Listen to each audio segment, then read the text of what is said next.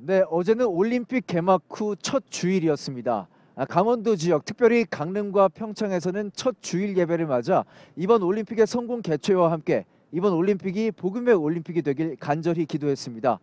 올림픽 개막 후 첫 주일 예배 풍경 유현석 기자가 담아봤습니다. 봅슬레이, 스켈레톤, 루지 경기가 열리고 있는 올림픽 슬라이딩 센터 앞.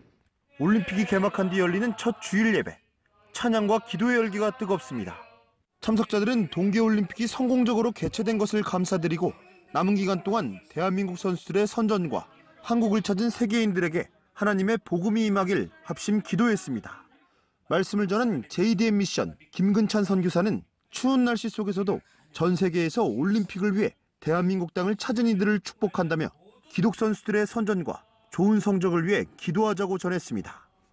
오늘 우리로 하여금 세계를 품고 가라는 거야. 우리 지금 평창 이 조그만 동네 있지만 세계를 향해 날아가라.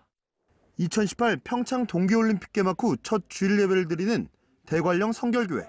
예배에서 말씀을 전한 대관령 성결교회 박혜훈 목사는 우리들의 섬김의 자세가 평창올림픽을 성공적으로 개최하는데 큰 도움이 될 것이라며 열심히 섬기자고 말했습니다.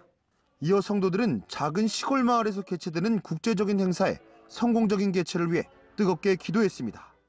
빙상 경기가 열리는 강릉 지역 교회들도 주일 예배를 통해 올림픽의 성공 개최와 함께 한반도의 평화, 무엇보다 복음 전파를 간절히 기대했습니다.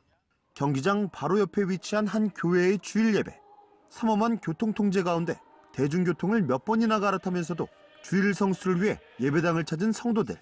강단에 선 목회자는 어느 때보다 어렵게 교회를 찾은 성도들과 함께 올림픽의 성공과 하나님의 섭리를 전파했습니다. 경기장과 다소 떨어진 한 교회. 아브라함이 나그네를 친절하게 대접했던 성경 구절을 본문으로 예배를 함께하는 성도들. 목회자는 동계올림픽 기간 동안 만나는 전 세계인들을 친절과 사랑으로 대할 때 하나님의 마음을 흡족하게 할 수 있을 것이라 강조합니다. 그래서 우리가 이번에 여러분들 그저 연례적인 행사 같지만 세계적인 이 귀한 올림픽인데 우리가 무엇보다 강릉에 찾아온 많은 선수, 임원진 또 많은 관광객 많은 사람들이 수많은 사람들이 강릉을 찾아왔어요.